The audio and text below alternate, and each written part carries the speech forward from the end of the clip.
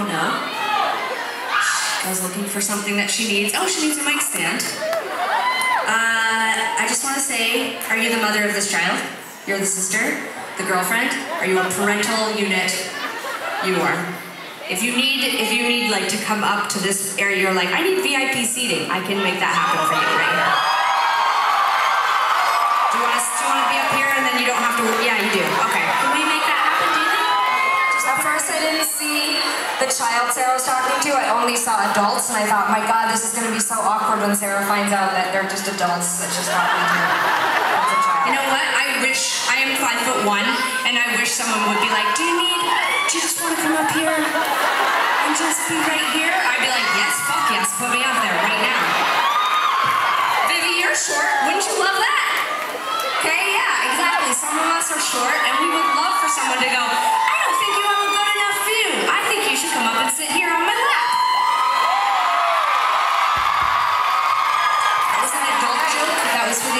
Um, uh, you good? You got your mic stand? Do you want to do your? You, you like to do a little bit of a bit before this one. Do You want to do it? Yeah. yeah, yeah. Any uh, single people in the uh, house tonight? I, I, I honestly believe that there's no statistical way that that many of you are single.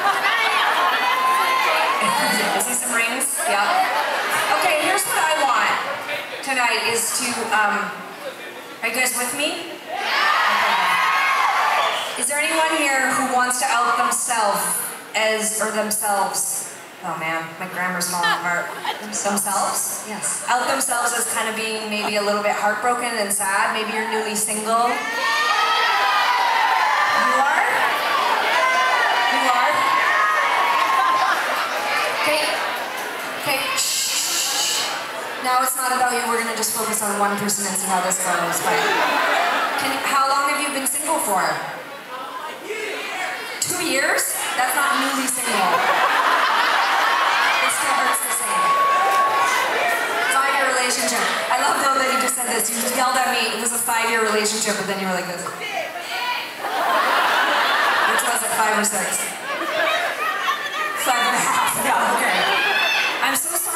Taking so long for you to get over your relationship, but you know what? You're gonna recover. Yeah, you have to use music to get through it. So, and you know what? There was a lot of people who are single here tonight. This might be your night. Is anyone else feeling sad? Maybe over here. You, none of you look sad at all. You're all smiling. But who's that? This, you guys look. Is, is this person who's leaning on you single, or is this your partner? Under raise their hand. She's your partner. She just wanted to raise her hand.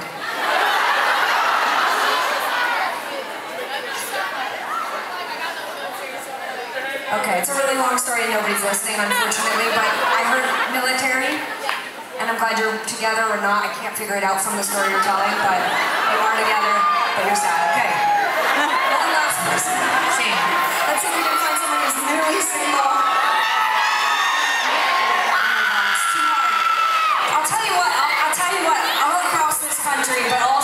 The world, I've taken this bit.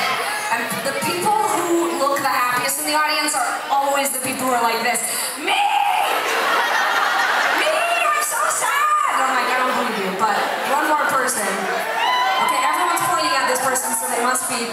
Okay, are you newly single? Are you feeling bummed out? Okay.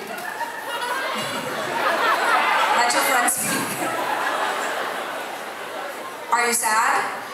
Is there anything we can do to help out tonight? I mean, you're here, that's great. Hot tub? Oh, God. I you, I don't know that a trip to the hot tub's gonna make you feel better. maybe though, hey, by the end of the night, if you meet somebody, we'll see what I can do about maybe trying to get you guys your first date at the hot tub. I don't know.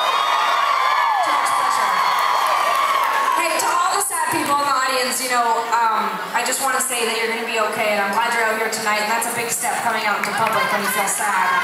And all joking aside, community is everything. So this one's to all of you here in this Tegan and Sara community tonight, being here together. So.